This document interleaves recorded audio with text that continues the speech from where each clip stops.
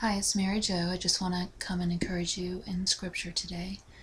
And I wanted to remind you that we always have to put our strength, get our strength from God. The joy of the Lord is our strength. And the joy is knowing that He's coming back to get us and that He's taking care of us.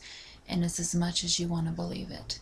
It's all by what you believe. Jesus said it over and over and over again in the Bible.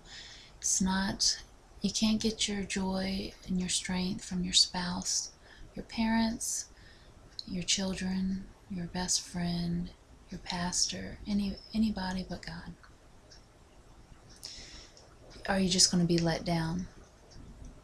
And we can look um, how David in 1 Samuel chapter 30, where they had came in and took taken all the women um, from their where they lived and David was very, all the men were very upset. If you look in verse, um, verse 6, chapter 30, verse 6.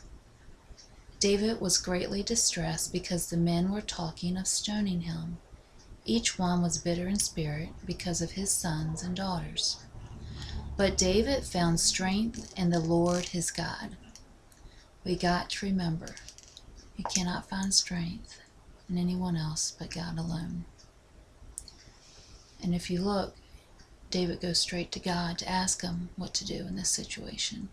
We tend to want to first ask ourselves, make up a plan in our head, what are we going to do? And I'm a list maker myself, so I'll start taking notes. I'm going to do this and this and this, and I, you know. And then you ask your spouse or your parents, your best friend, asking everybody what to do.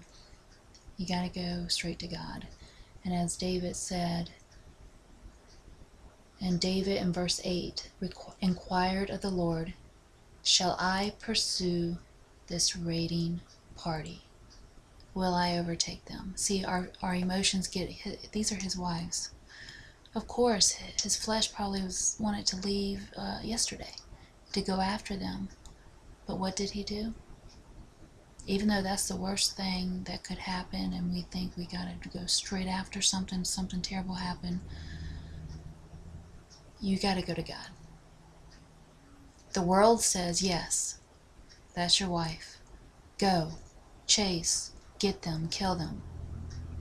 But the Bible says, inquire of the Lord first, because without Him you are nothing. We got to put our trust in God first, our love for Him. He comes first over all, everything. And I hope and encourage you to think of that next time you're going through something. Just go straight on your knees and ask God what He wants you to do. God bless.